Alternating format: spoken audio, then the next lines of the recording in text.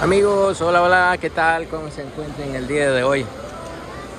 Bienvenidas y bienvenidos a un nuevo video donde el día de hoy nos encontramos acá a los alrededores de este estadio donde se está llevando a cabo la final del US Open partido de tenis acá en Nueva York este estadio se encuentra acá en el, en el condado de Queens, en el parque de Flushing. Así que acompáñame a ver este video.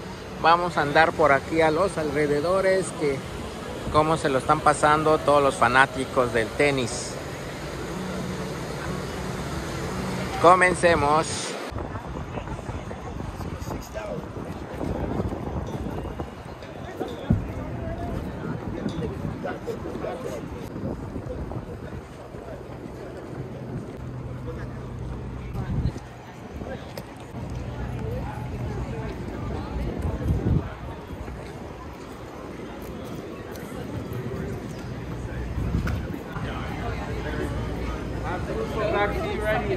To the U.S. Open.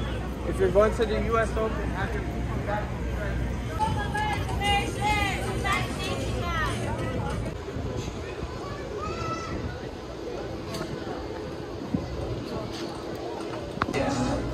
No, you get that, uh, it doesn't have to be, you know, together. You know, but, you know, getting the chips one. Cheapest one I got is nine hundred and eighty-seven. Hello, how are you? Hey,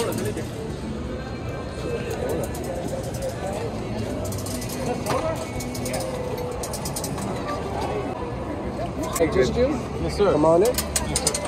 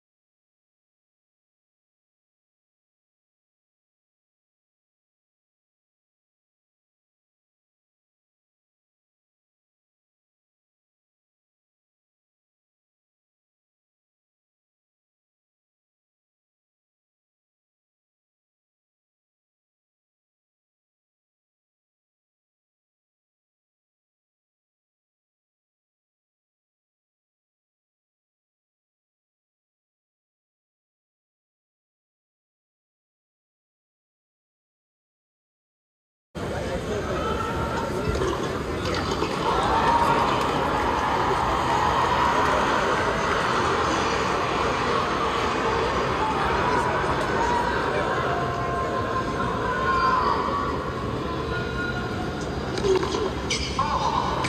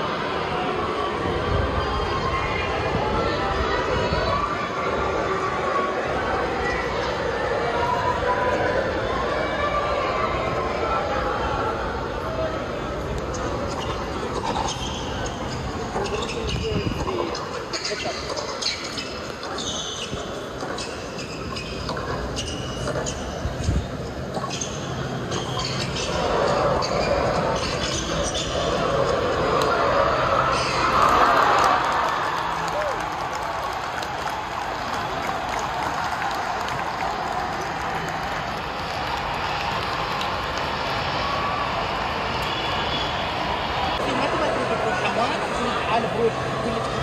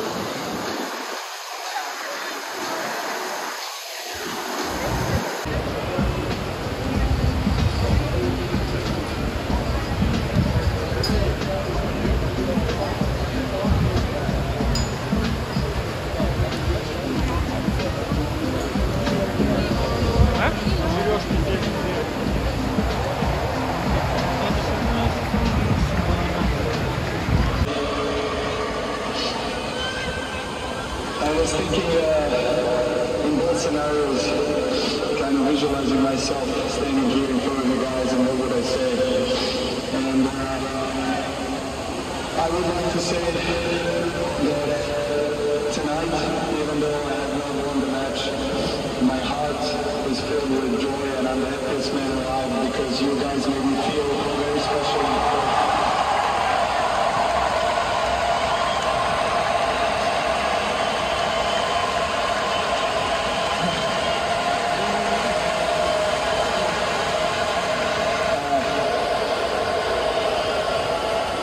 You guys touch my soul. I've never felt, never felt like this in New York. Honestly, I've never felt like this. I love you guys. Thank you so much for your support. Everything you have tonight for me. I love you. Uh, see you soon. Thank you.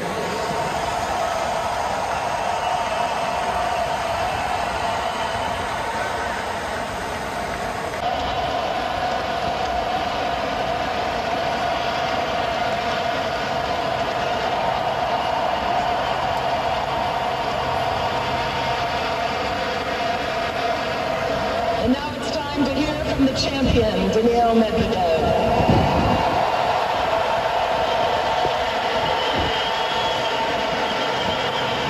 You, we have some questions for.